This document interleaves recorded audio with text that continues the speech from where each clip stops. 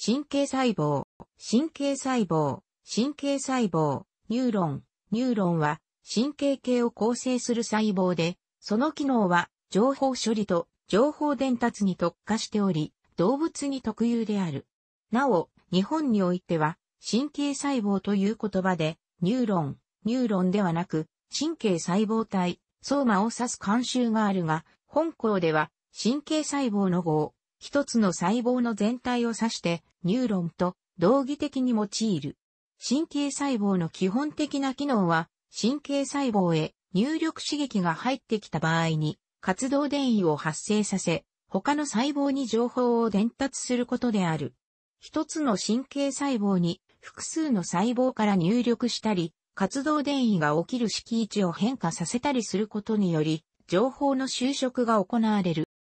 神経細胞は主に3つの部分に区分けされ、細胞核のある細胞体、他の細胞からの入力を受ける樹状突起、他の細胞に出力する軸索に分けられる。樹状突起と軸索は発生的にはほぼ同じ過程をたどるため、両者をまとめて神経突起、ネウリテとも言う。前の細胞の軸索終末と後ろの細胞の樹状突起の間の情報を伝達する部分には、微小な感激を持つシナプスと呼ばれる化学物質による伝達構造が形成されている。神経細胞の中には、光や機械的刺激などに反応する感覚細胞や、筋繊維に出力する運動神経の細胞などもある。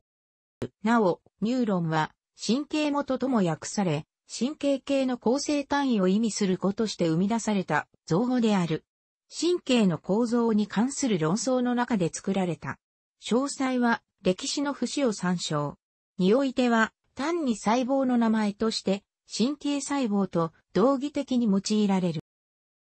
細胞体、セルボディ、ソーマは神経細胞の中で細胞核などの細胞小器官が集中し、樹状突起と軸索が会合する部位である。神経細胞内でのタンパク合成など、一般的な細胞としての機能はほとんどここで行われる。細胞体の大きさは、人では直径3から18マイクロメートル程度だが、無脊椎動物の中には1ミリメートルに達するものもある。細胞骨格には中間系フィラメントの一種であるニューロフィラメントが高密度で分布する。細胞体には神経細胞以外の細胞に存在する微細管に相当する神経細管が存在し、細胞体と樹状突起や軸索間の物質輸送に関連していると考えられている。また、核の周辺部には素面小胞体の周回である日する物質が存在し、日する染色によって染色される。このことから細胞体ではタンパク合成が盛んであることがわかる。軸索、アクソンとは細胞体から伸びている突起状の構造で神経細胞において信号の出力を担う。神経細胞中では長さが大きく異なってくる部分であり、人の場合、隣接する細胞に接続するための数ミリメートル程度のものから脊髄中に伸びる数十センチメートルのものまである。軸索は基本的に一つの細胞体からは一本しか伸びていないが、しばしば軸索側し、アクソンコラテラルと呼ばれる枝分かれを形成する。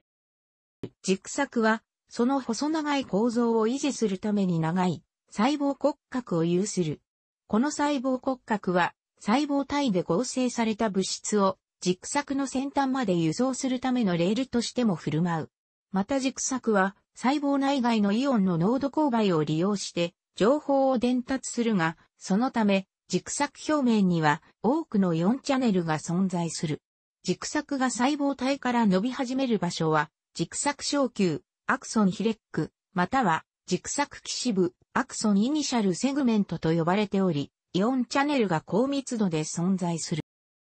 軸索の一部には、クリア細胞が巻きついてできた随小、ミエリンと呼ばれる構造を持つものがある。随小を構成する細胞は、中枢神経系ではオリゴデンドロサイト、また、末梢神経系では、手腕細胞である。随小は、脂質に重層で構成された、細胞膜が何重にも巻きつく形で構成されている。脂質は、絶縁体の性質を持つため、随象はイオン電流の漏洩を防ぎ、電気的信号の伝導速度を上げる効果を持つ、跳躍伝導にも寄与している。随象のある軸索を有髄繊維、ない軸索を無髄繊維と呼ぶ。随象に対して核の存在する外側の部分を神経症と言い、随象を持たない神経を無髄神経という。ここで注意したいのは、無髄神経も神経症は持っているということである。軸索の先端は他の細胞と接続してシナプスを形成する。軸索のシナプス結合部はやや膨大しており、これをシナプス前終末、プリーシナプテックターミナルと呼ぶ。シナプス前終末には、神経伝達物質を貯蔵しているシナプス商法、電位依存性のカルシウムイオンチャネル、神経伝達物質を回収するためのトランスポーター、及びシナプス後細胞からのフィードバックや、シナプス前抑制などの役割を受け持つ各種の受容体が存在し、これによって軸索はシナプスを通じて他の細胞に信号を伝達する。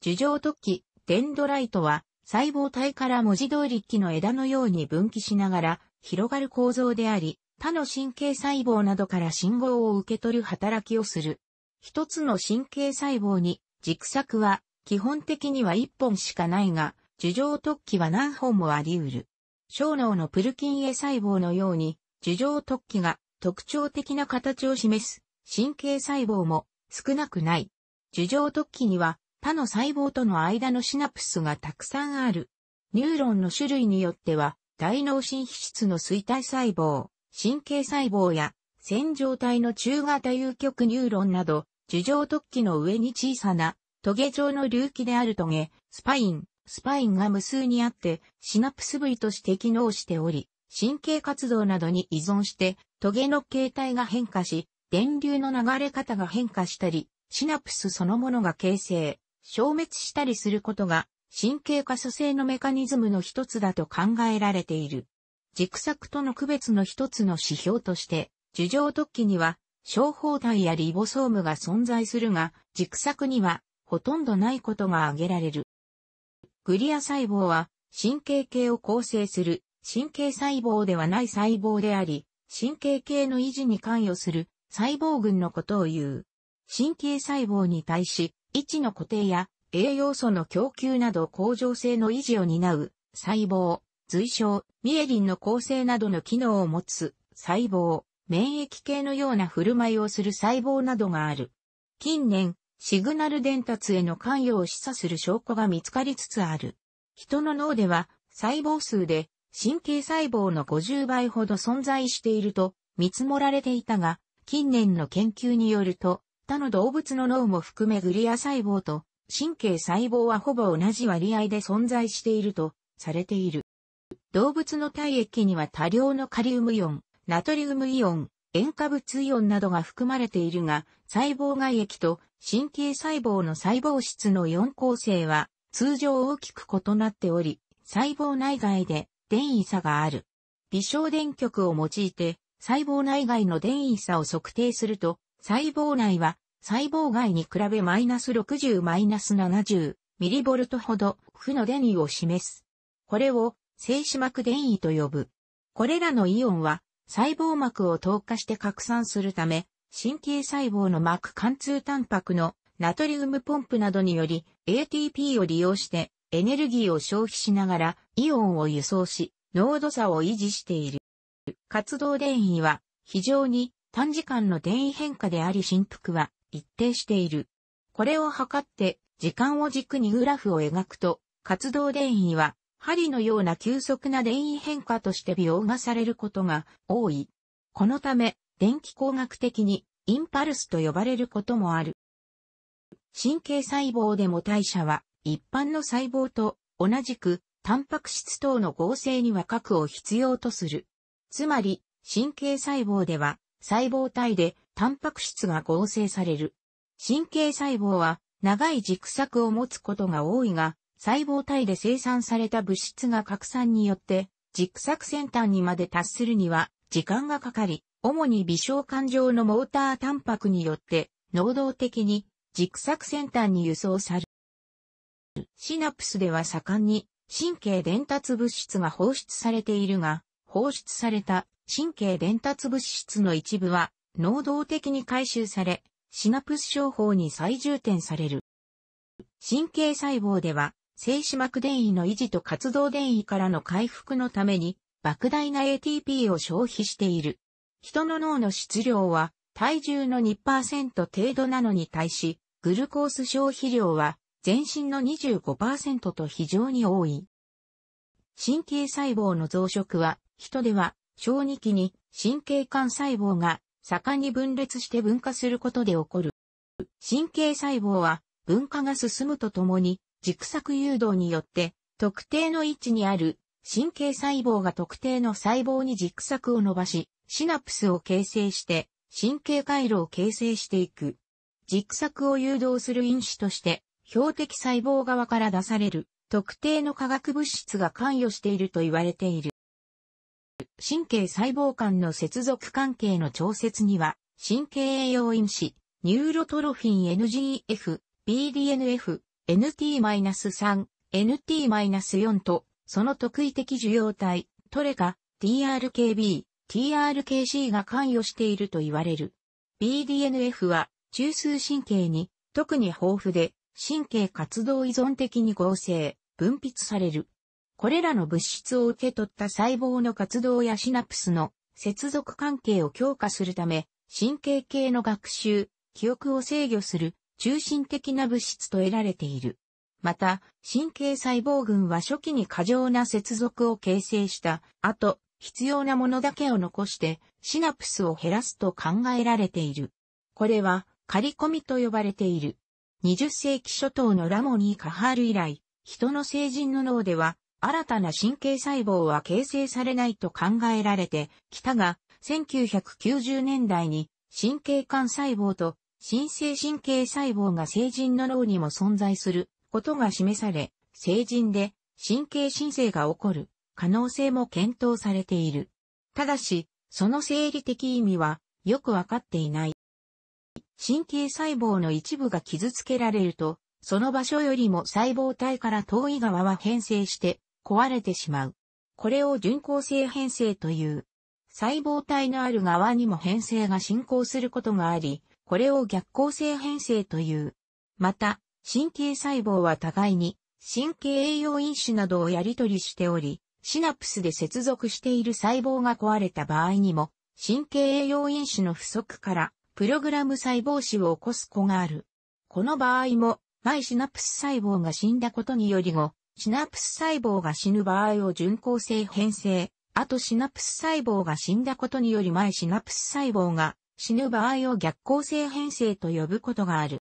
障害の程度が激しくて細胞体が死んでしまうと、その神経はもはや再生不能である。しかし、末梢神経の場合には、細胞体が生きていれば、再び軸索を伸ばして、目的細胞との結合を回復できる子が多い。その過程には、基底膜や手腕細胞の関与が必要とされる。一方、末梢神経に比べて、中枢神経はほとんど再生能力がなく、脳や脊髄の損傷は生涯にわたって後遺症を残すことが少なくな。末梢神経の再生を促進する再生医療技術が実用期に入っているが、中枢神経の再生は開発途上である。人工神経を参照。以下は神経細胞の形態による分類であり、細胞の機能が特定されていない場合の一般的分類である。あちこちの神経細胞が同じ名前で呼ばれるが、基本的に形態以外の共通点は考慮されていない。しかし局所的には、形態の違い、すなわち、軸索の伸びる先や樹状突起の持つシナプス数は機能の違いを反映していると仮定した研究が多い。大脳皮質においては、衰体細胞は皮質量夜間や皮質と核をつなぐ興奮性の細胞であり、正常細胞は両野内での抑制性及び興奮性の介在神経細胞と考えられている。これら介在神経細胞は、形態から細かく数十種類に分類されることがある。以下は特定の部位に存在し、特徴的な機能、形態を持つ分類である。19世紀後半、中枢神経をはじめとした神経系が網状構造を取ることまでは知られていたが、カミロ・ゴルジラは神経繊維は末端で互いに途切れることなく連続して網を形成しているとする網説を主張し、ラモン・イ・カファールらの神経繊維も細胞の集合であるとするニューロン説と対立した。1906年のノーベル生理学、医学賞はゴルジとカファールが同時受賞し、両者は全く正反対の立場で受賞記念講演を行っている。なお、ゴルジ染色法により、ニューロン説が有力となり、電子顕微鏡や分子設計による染色法の発達に伴って、神経の細胞としての微小構造や特性の解明が急速に進んだ。